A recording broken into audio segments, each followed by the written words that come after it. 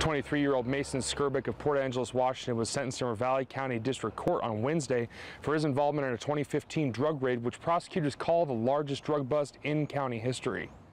Prosecutors say Skerbeck was meeting with the Stevensville resident to determine how many drugs could be sold in Ravalli and Missoula counties last November. They were arrested by sheriff's deputies who set up surveillance in the Florence area after receiving a tip. Deputies say they found an estimated $250,000 in drugs, a loaded pistol, and $2,000 cash in their rented Chevy Camaro. Skerbeck was originally charged with 10 counts of various drug charges, but accepted a plea deal in February, pleading no contest to conspiracy, criminal distribution of dangerous drugs, and guilty to criminal possession of dangerous drugs. He also agreed to serve 15 years in the Montana Department of Corrections, with 10 of those years suspended.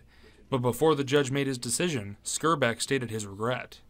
I guess I just look forward to the future and getting the help necessary so that I can amend the, um, the mistakes that I made and um, I guess just move on from this and live a life in accordance with the law and not repeat uh, any of the actions or choices that led me to where I am now.